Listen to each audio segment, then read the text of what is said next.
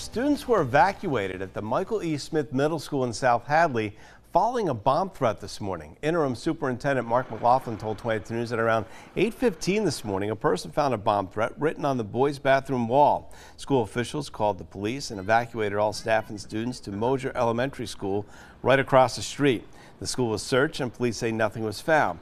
The students were dismissed on a half-day schedule. In a statement to 22 News, South Hadley Police Chief Jennifer Gunderson said that this is the second threat at the school this week. Is very disappointing um, behavior, and we're going to be working very closely with the police. We take this very seriously, and uh, we will uh, consider all of our options. South Hadley police are now investigating. McLaughlin expects school to be open as normal on Monday morning.